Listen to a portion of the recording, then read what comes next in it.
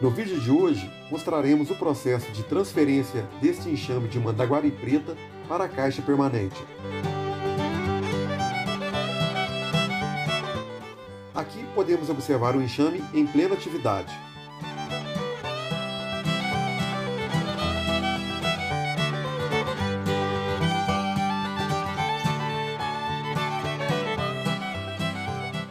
Algumas abelhas colocam o lixo para fora, já outras campeiras chegam com o pólen.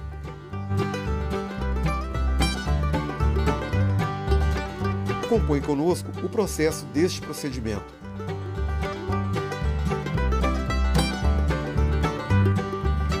Vamos ver agora aqui. Aí, ó. Enxame. Muito bem, ó.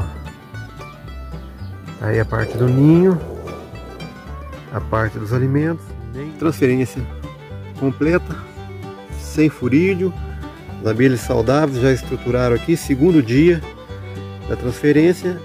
Acompanhe com a gente aí o vídeo da transferência dessa abelha mandaguari.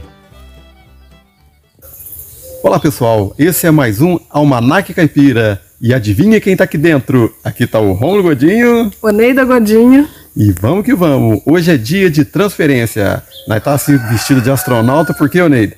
Hoje nós vamos transferir Mandaguari. Isso, aqui atrás aqui, ó. Vocês dá para vocês verem aqui, ó. Ali, ó. Tá um enxame de Mandaguari preta. A gente vai fazer a transferência. Então, a gente vai mostrar para vocês aí como é feito, né? Como que a gente faz aqui. E vamos que vamos, porque serviço... É mato. Beleza, vamos lá.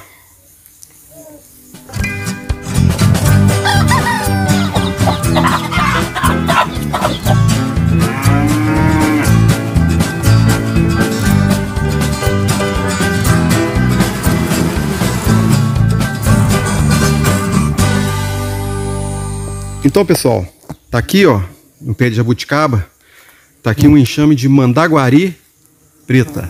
Tá ela aí, ó. Bicão da bichona tá aí. Essa mandaguari, a gente não conseguiu essa enxameação nesse ninho isca aqui nesse pé de jabuticaba, não. Aqui já tá na, na nossa casa aqui, onde a gente mora. Na verdade, a gente pegou, foi numa fazenda de um amigo. A gente trouxe para cá e já deixou ela aqui alguns dias para estar tá acostumando. Como ela veio de longe, uma distância muito maior do que o, o, raio de voo delas, a gente não precisou deixar elas confinadas não. Então, a gente agora vai estar tá fazendo a transferência. Eu já deixei amarrado aqui esses pauzinhos aqui para a gente estar tá colocando aqui. Por enquanto elas vão ficar aqui, mas depois a gente está criando ali ó, um ranchinho só para estar tá colocando as mandaguaris. Tá aqui o material que a gente usa. Primeiramente a gente está usando uma caixinha. Essa caixinha é o mesmo que faço ali na oficinazinha ali. Essa já estava pronta. É uma caixinha de pinos, né? Ó. É, as medidas internas 20 por 20 e eu estou usando 25 de altura porque eu não vou fazer divisão dessa mandaguari não. Depois, se o, o ninho continuar crescendo, ver que o enxame está forte, eu venho e coloco mais um módulo de sobreninho. Ou então já venho logo com a melgueira. Eu vou observar, porque essa aqui é a segunda mandaguari que a gente tem aqui no meliponário. Aquela outra lá que vocês viram no vídeo de manejo é a mandaguari amarela. Então quem não viu o vídeo do manejo de alimentação proteica, tá aí ó, no card em cima, só dá um cliquezinho aí e acompanhar com a gente. Essa caixinha de pinos, pinos de 2,5, eu fiz o que? Eu coloquei um isopor de um centímetro em volta toda e coloquei aqui ó, essa parte de acrílico por dentro para estar tá o quê? Para estar tá protegendo para elas não roerem o isopor e assim dar uma condição térmica melhor. Então, como eu já estava com essas caixas prontas, a gente vai é, aproveitar elas, elas vão ficar no lugar coberto depois, não tem problema. É, porque a gente agora já está utilizando um novo modelo, a gente está fazendo de eucalipto e quando a gente consegue material bom de demolição, a gente faz também, tá? Com a parede bem mais grossa, para a gente não ter que usar o isopor. Aqui no fundo, se vocês observarem, eu faço um quadrinho de, de madeirinha e grampei um arame a um centímetro do piso da caixa. Para quê? Para a gente estar tá acomodando o ninho e elas terem um espaço embaixo para estar tá fazendo a manutenção. Como vocês puderam observar, aqui está a caixa, a tampa da caixa. Essa tampa, vocês, como vocês vê nos vídeos aí, tem essa madeirinha em cima. Na verdade, ela serve para quê? Além de segurar a telha, né? Ela serve mais é para não deixar a tampa empenar. Então, ela deve ser pregada no sentido contrário ao fluxo do veio da madeira. Se o veio está para cá, você prega ela assim. Porque se você pregar daqui não adianta nada, ela vai abaular. Então você colocando no, fluxo contrário do veio, a tampa não empena, tá certo? Olha lá, ó, fecha certinho. E aqui, como vocês puderam observar também, a gente fez aqui a famosa geringonça, que nada mais é um pedaço de cano com alguns furos aqui na ponta para estar tá? Confundindo o furídio. Diminui em muito essa questão da, deles conseguirem entrar dentro da caixa. Porque aqui são alguns furos, se vocês puderem observar, vamos ver se eu consigo focar melhor aqui. Tem alguns furos de broca aqui e eu coloco uma tela de bem fininha aqui que o furídio não passa. Então o cheiro fica aqui, ventila lá dentro da, da colmeia e eles são atraídos aqui para essa área, porque geralmente ele fica mais aqui na parte da caixa.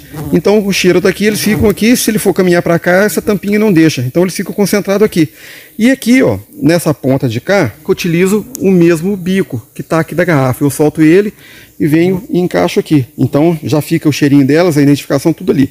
Essa geringonça é toda feita de material reciclado, pedaço de cano e garrafa, coisa que todo mundo tem aí. A gente vai estar tá postando um vídeo de como é feita essa geringonça. É bem simples, tá?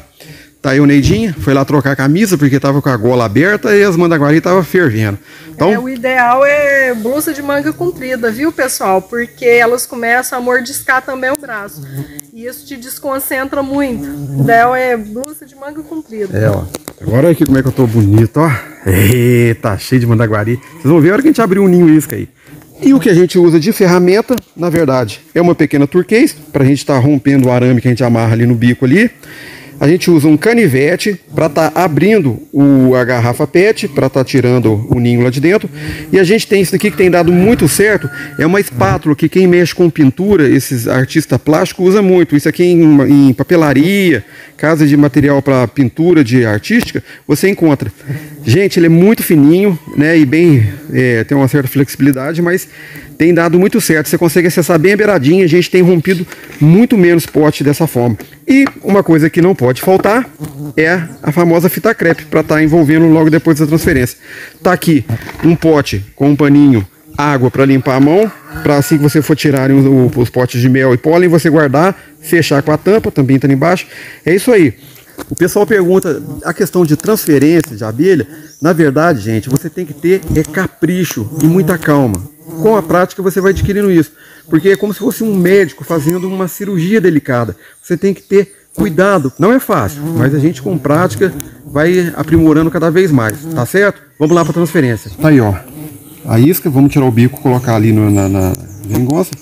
Uma coisa importante, mandar guari em garrafa de 2 litros, você não deve deixar muito tempo não. É o prazo mesmo, de um mês e meio, dois meses, porque ela se desenvolve muito rápido. E acaba que ela é um enxame populoso, ela consome todo o espaço com os discos de crias e vai ficando sem espaço para ela estar tá com alimento ali dentro. Isso pode causar a morte do enxame. Não enrola para fazer transferência de mandaguari em garrafa PET 2 litros, tá bem? Vamos tirar o bico aqui. Então a gente vem. Você pega o celular nele. Tá aí. Busquei, tá certo. Então, tá ali o biquinho, elas vão soldar ele logo logo.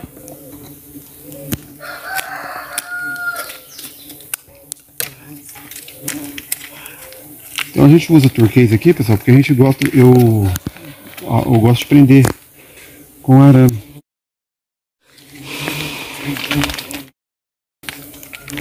Pronto aqui, já, já abrimos lá embaixo. Então, ó, é bom você fazer o plástico um pouco maior, que você tira e depois, ó, pode estar aproveitando. Então, vamos lá com muita calma. Tem que manter a calma. Não adianta apavorar. Apesar de ser uma abelha que deixa a gente um pouco apreensivo, né? Então tá aqui, ó. Ela deixa a gente tenso. Tá aqui, ó. Então enxame, o disco tá vem crescendo. Vamos abrir. A gente usa um canivete muito bem afiado, né? Você pode estar usando estilete e muito cuidado. Se você é criança e já está iniciando nessa criação de abelha, que é bacana, ou se você não tem tanta habilidade com estilete canivete, peça uma pessoa, um adulto, para estar tá usando com você, que é perigoso escapar, né? Machucar a gente. Então vamos lá. Vamos romper com cuidado. Sempre mantendo a garrafa na mesma posição. Não deve se inclinar a garrafa. por causa dos discos de cria que contém alimento larval. Né? Então, e, mas eu acho bonita a cera dessa abelha, viu? Aqui são Lindo. alguns potes de alimentos. A gente vai estar tá cortando nesse sentido agora para a gente estar tá acessando o disco. É interessante você com muita calma olhar qual que é a, a, o lado que está com menos pote grudado, né? Ponteado. Aqui está uma, uma areazinha, uma folga boa aqui. A gente vem com muita calma, gente. Cuidado. Isso aqui, na verdade, é capricho. Você tem que ter capricho e cuidado. Quando está fazendo uma transferência, olho, fiquem de olho na movimentação da rainha. Cuidado para não passar de repente o estilete em cima dela. Na hora que estiver tirando o ninho, os potes, muito cuidado com ela. O que, que a gente faz? Na verdade, você faz um corte aqui, um corte aqui, abre embaixo para você estar tá dividindo a garrafa. Nessa hora aqui, ó, dá para filmar aqui, Neida? Olha só. Vê se consegue focar ali as estruturas aqui, tá dando? Tá dando. Ali, ó. Então, olha que interessante. Com essa ferramenta, ó, a gente consegue acessar o, os pivotinhos da, da, da, da, Olha lá, dá para ver? É importante você ter ferramentas adequadas para esse tipo de manejo. Né, ó, dá, focou lá? Deu para ver lá as basezinhas? Deu. Aqui, ó, tipo esse daqui, ó. Né? Depois você vem com muito cuidado, ó, removendo Ó. Vai dar para tirar inteirinho, sem danificar nada. Olha só, essa parte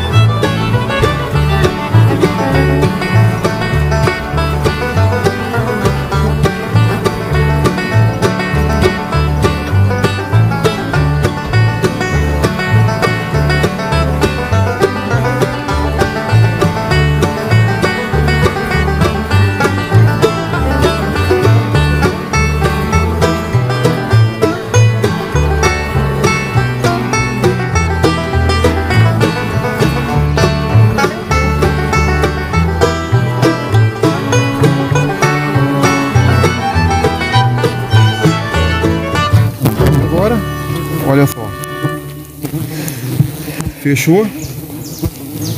Vamos vir com a fita. Tem que ter fita. Qualquer coisinha que você fizer no enxame, colher o mel, tem que passar a fita.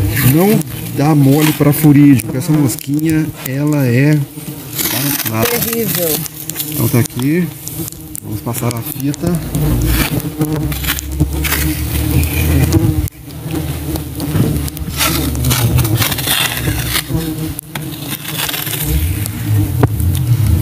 Saiu? É.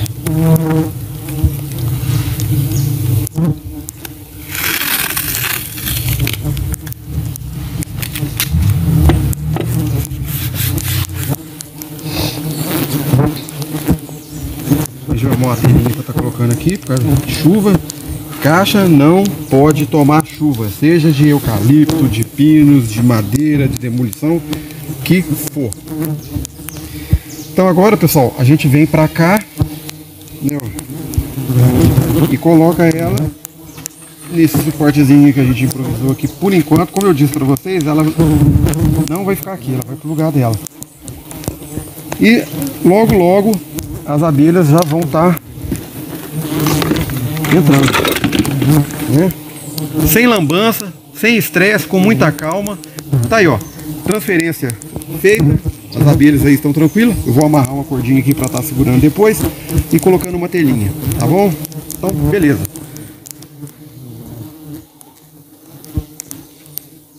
Elas já estão entrando? Uhum. Então tá aí pessoal, esse foi mais um Almanac Caipira, hoje com a transferência do Ninho Isca para a caixa tipo ímpar, da abelha mandaguari preta. Valeu, pessoal! Fique com a gente. Se você é novo, seja bem-vindo. Se inscreva aí no nosso canal. Compartilhe o vídeo com os amigos também que gostam das abelhas nativas sem ferrão.